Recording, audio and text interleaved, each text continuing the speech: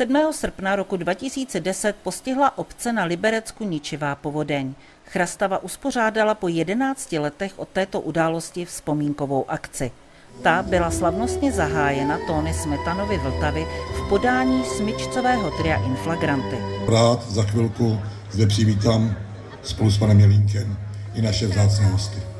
Pozvání přijal tehdejší prezident Václav Klaus, bývalý hejtman libereckého kraje Stanislav Eichler, Roman Hlinovský, tehdejší zástupce velitele hasičského sboru Liberec, senátor Jiří Vosecký, současný hejtman Martin Půta, starostové obcí mikroregionu Hrádecko-Chrastavsko a zástupci partnerských měst Chrastavy.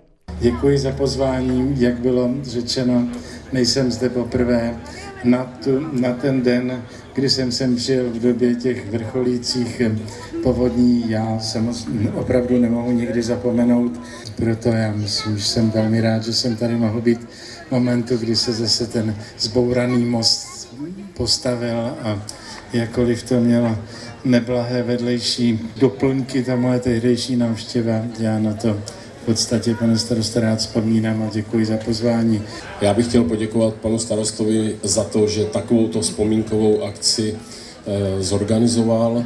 Pozvání přijal i architekt Martin Reiniš, jehož zásluhou získala Chrastava dodnes turistickou atrakci, kterou je Transborder. Já bych byl stejně jako to říkal Stanislav, Stanislav Eichler moc rád, kdyby nás povodeň už nikdy nepotkala.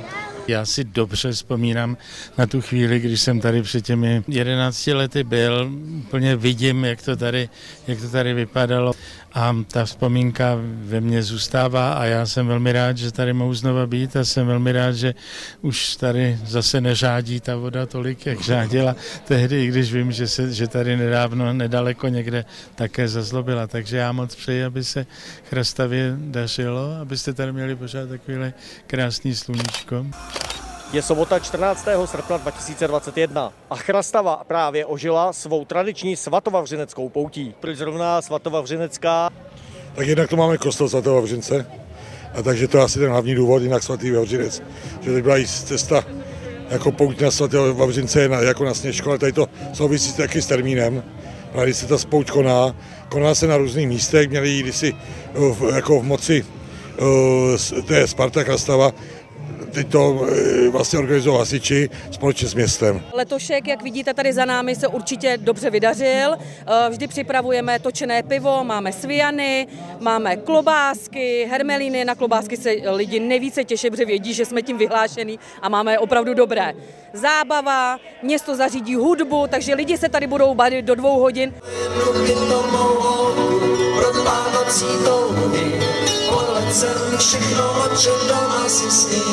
Jsou tady různé atrakce, plus za mnou taková ta moderní atrakce pro mladý, tak doufám, tam se děti i dospělí jako vyřádí. Pak jsou tu nějaký stánky podobně. A pak hnedka vedle u hasičů je, je muzika, že jo? takže tady všude je plno, ale já jsem hlavně rád, že po té covidové době zase všechno žije a, a Chrastal žije taky, takže to je vlastně hlavní plus. Každoročně pořádá společenský klub na ukončení letní sezóny kulturní a společenskou akci. Letos je to léto 2021. Oproti minulým ročníkům jsme zvolili formát takového minifestivalu, Eh, vybíráme v letošním roce poprvé vstupné a také jsme změnili prostor, na kterém se to koná.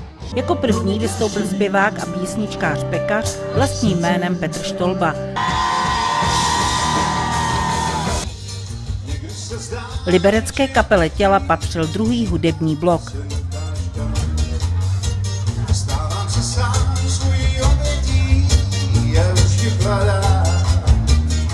Úžasnou atmosféru vytvořila zpěvačka Olga Lounová se svým vystoupením a spoluprací s obecenstvem,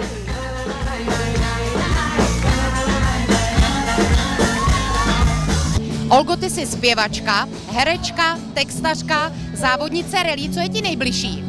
Tak určitě skladatelka, zpěvačka, přes to píšu, je to o mě, pro mě a závody samozřejmě to je takový doplněk. Co říkáte na program? Výborný. No perfektní, my jsme hrozně nadšený. Zatím super, jako, zatím super. Co se vám nejvíc líbilo? No Olga Lounová. Já jsem přišla na Olgu Lounovou, to se mi velice líbila a teďka čekáme na Leny a jakoby zatím je to tady hezký. A velkolepou hudební a světelnou show uzavřela chrastavský minifestival zpěvačka Leny se svou kapelou.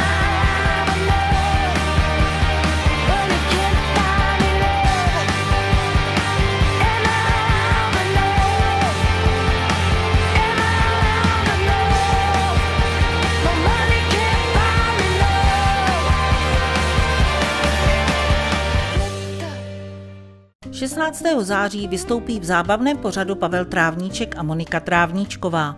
Do sálu společenského klubu vás zveme na 19. hodinu. Další akcí je koštvín, kterou pořádá město každoročně na Chrastavském náměstí.